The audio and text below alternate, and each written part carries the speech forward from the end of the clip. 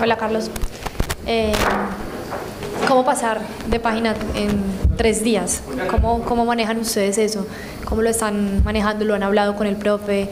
Eh, para cambiar ese chip tan rápido de, pues obviamente la derrota y pensar ya en otro equipo grande al que hay que enfrentar como Santa Fe. Hola, eh, esto hace parte de- del fútbol, toca pasar un capítulo, eh, no era lo que esperábamos, pero, pero ya regresa el torneo de la liga que al final es el que, debemos competir en lo, en lo que sobra de, de este semestre. Eh, estar bien preparados para lo que se nos vienen, que, que es fuerte, el calendario de por sí tiene partidos muy seguidos y, y es cambiar el chi así, siempre toca jugar cada tres días y la nómina está totalmente convencida que lo que se haga en cada partido hasta ahí es y luego a, a mejorar en el próximo. Carlos, ¿qué tal? Buenos días. Haider Escobar de Minuto30.com. Me parece que en cada intervención suya ante los medios se siente su madurez. Esa misma madurez tiene que salir a flote para afrontar una jugada infortunada como la que sucedió a mediados de la semana y si nos puede hablar un poquito de ella.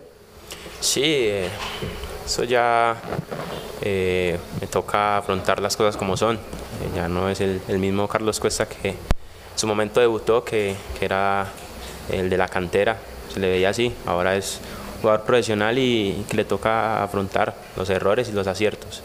Eh, la madurez que, que muestro con mis compañeros y fuera y dentro de la cancha eh, me toca afrontarla. Eh, difícil situación para mí, que para, para muchos también, eh, que me apoyan y, y que quieren que me vaya muy bien.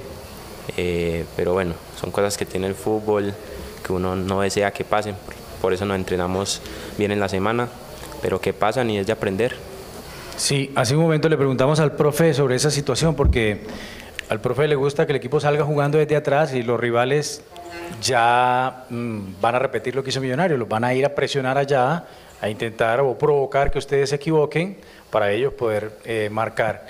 Pero us- usted ha hecho muchas cosas buenas en Nacional, en la corta carrera que lleva y eso no puede opacar todo lo bueno que ha hecho. Eh, quiero preguntarte cómo fue esa noche para ti en lo personal, cómo lo viviste, en quién te recostaste, cómo, cómo lo alcanzaste a superar y sobre y ya en la parte técnica, en la cancha, ¿qué recomendaciones te dio el profe para que eso no vuelva a pasar? No solamente para ti, sino para el resto de compañeros en el fondo. Bueno, el- sobre el día del partido es, es difícil, estás en pleno partido, plena final, eh, no es cualquier situación. eh, y era pasar la página después del gol, eh, volver a estar en el partido, estar conectado para evitar más goles y para colaborar en, en el empate. Lastimosamente no se dio y al final eh, uno siempre es queriendo que pasen esos minutos, eh, poder regresar a casa y ya estar en, en la tranquilidad de la familia, eh, que al final también sienten esa preocupación que, que uno siente. eh, y recostarme también en los compañeros de más experiencia, la verdad me acogieron, me dijeron que no es la primera vez que me va a pasar, que ojalá fuera la última, pero que hay que ser realista. En el fútbol pasan ese tipo de cosas y ya eh, después se un poco en el grupo, comentamos eh, sobre la jugada, eh, yo la vi varias veces también, uno tiene que, que mirar qué, qué fue lo que se hizo. Y, y mi punto de, de- vista que era decir, no se puede volver a hacer, era más viable tomar esa decisión, jugar hacia el costado, jugar hacia el portero, situaciones que, que uno en el momento hace se le pasan, pero que, que a los demás compañeros también les queda experiencia y obviamente a uno. Hola Carlos, hablemos ya de lo que viene, de Santa Fe. ¿Qué esperan de ese partido? Me imagino que quieren hacer borrón y cuenta nueva y tener un buen resultado ante un gran rival. Sí, seguir eh, bien en la liga. Ya ganamos el primer partido, gracias a Dios. Eh, ganar a, Santa Fe, que al final nos va a ayudar mucho. Eh, que ya pasó lo de la final, pero sabemos que el partido que viene es de suma importancia porque ayuda a tener un nuevo aire, a enfrentar los próximos partidos que vienen, que también son rivales difíciles y que por ahí eh, nos da tranquilidad de que cuando llegue el, el torneo internacional tengamos una buena cantidad de puntos.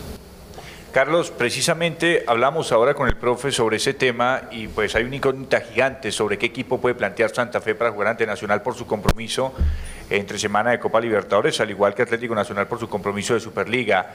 Pero seguramente lo que nos decía el profe es que se va a presentar una mistura con relación al equipo que va a jugar Atlético Nacional, de lo que pueda proponer Santa Fe, de lo que se ha trabajado, qué se ha dicho de esa propuesta inicial que pueda tener Independiente Santa Fe y con relación a Atlético Nacional, ¿ya hay alguna luz de saber qué, qué jugadores van a ser de pronto tenidos en cuenta para ese compromiso el día de mañana? Bueno, de Santa Fe uno cree y, y espera que, que, el juego de ellos va a ser el mismo, el que traen desde hace mucho tiempo.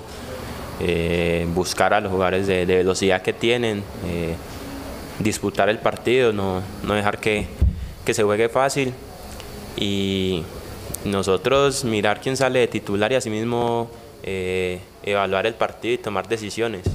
Es más allá de lo que diga el profe también en, la cancha, a veces se te pueden cambiar las cosas y, y ahí es donde los jugadores de experiencia y, y los jóvenes también con, con, lo que se hace entre semana eh, tienen la capacidad de, de decidir qué, qué, se debe hacer. Y de nosotros eh, el que salga. Aquí nosotros no sabemos si el profe vaya a rotar si el profe quiera salir con los mismos. Eh, hay una nómina amplia y, y, todos nos trabajamos bien entonces si, si toca repetir lo haremos con, con muchas ganas siempre queriendo ganar porque es sumamente importante ganar ese partido Gracias, Carlos. Muchas gracias.